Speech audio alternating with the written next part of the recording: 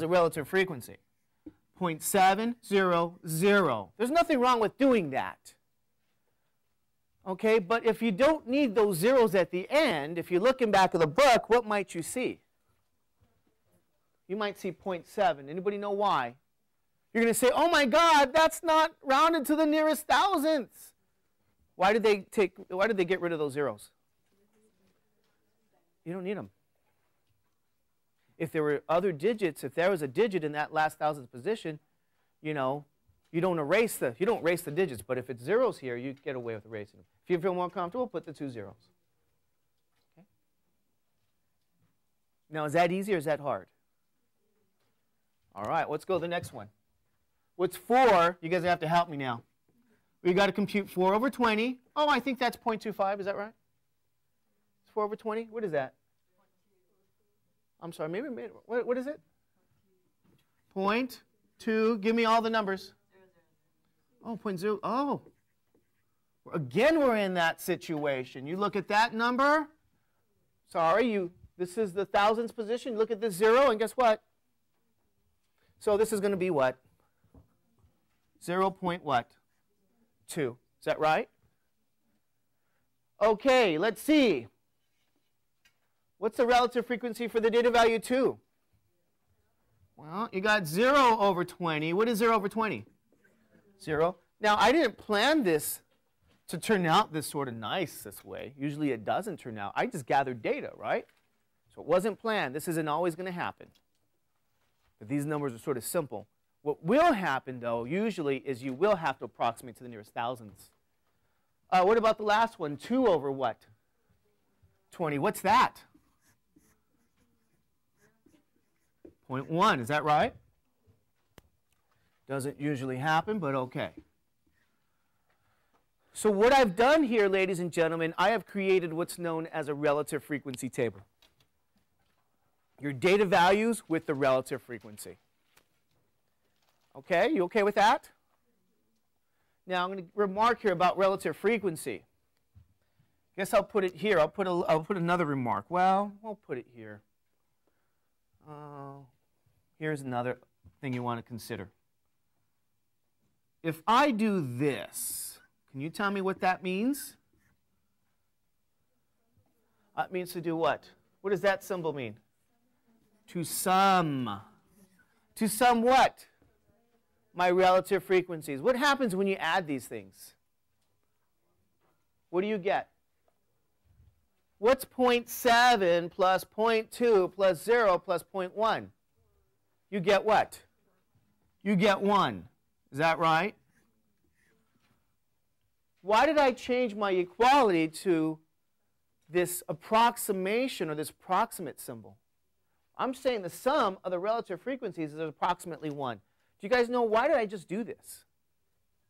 Why am I saying that the sum is approximately 1? Well, here's what happens. You guys know when this rounding off and this approximation stuff, when you approximate your answers, it didn't happen in this table, but when you do at times, you know, you approximate some of these answers and you add one in one case, in other case you don't, and whatever. But when you go back to add these values, it's not always exactly one like it was here. It could be a little bit smaller or a little bit what? larger. It's, it's approximately 1. So if you've done this process right, some people check it by adding the relative frequencies to see if the value is approximately 1. Okay? Some people do that. Whew. Okay. Anybody have any questions on this? Is it still easy or is it hard? It's easy? So far? All right, well, let me ask you these sort of questions. All right, let's, let's first note a, another concept. Let's note um, when we talk in everyday life, and this question about how many children do you have, you know, it's a legitimate question, especially asking adults, sorry, this question in a community college setting. Do you guys want to know why? Well, because very often people are interested in this stuff, educators, the state, whatever, people, administrators, the community, the government, you know. They're interested in knowing how many children you have because what do you think can happen? Anybody know? What happens? Who has children here? You're the only one? Only one person has ch- children. Good. Child, one child. Who has more than one child here? You got, oh, that's right. You have what? Three. Let me ask you a question, personal question. How is it easy is it to go to school with three kids? Is it hard? Mm, how old are they? Eight, six, and one. Mm, that one year old probably wants some time. You know, eight year old and six year old don't want time? Hmm? They want some time? They do homework? yeah. How many hours a week do you work? Um, I'm not working right now. I go back in a few Mm, oh, well. When you go back, Yeah. is it going to be easier or is it going to be hard? I get home when they get home, so. I'll I know. Wow, I think I'm going to go out and have three kids now because she makes it sound so easy. oh, forget it. Is it that easy? What am I talking about? I have one and I'm going crazy. You have three. Huh? It's very hard. And as community college students, what tends to happen, you know, life happens. That's going to dictate really how successful you are in the course and even completing programs. But community colleges are very interested in knowing for students how many children do they have? Is there a relationship between the number of children and how successful they are? And what do you think the idea is? I mean, what do you think? Is that, is that something that's true or false? Only people that have children know what? That is a very difficult thing to balance everything in life. You got your kids, you got school, you got work, you got other things. It's sort of hard to do. Okay? You guys know that? So, this question we ask how many children you have, schools actually have data on this information because, you know, they're interested in success in how well you do. And when you're not successful, why is that? And, you know, sometimes this is a factor. Okay? So, okay, it's a legitimate thing to ask, but we don't really talk about things in terms of relative frequency.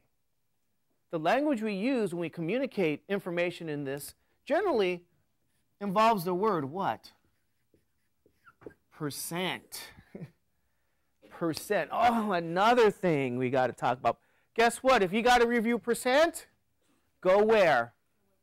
Go to that website in that same multimedia file. I review concepts of what? Percent. You guys with me on that? So even if we do the work, you go, oh my God, where do you get that answer? How do I? Well, you can go ask a tutor, I guess. You can ask me in office hours. You can find someone, or you can watch this. And you can get sort of a lecture, okay? All right, what's the relationship between percent and relative frequency? You guys really know what's going on? You see this relative frequency decimal value? Right? Every decimal can be represented as a percent, and likewise, every percent can be represented as a decimal. And I go through all that in that presentation.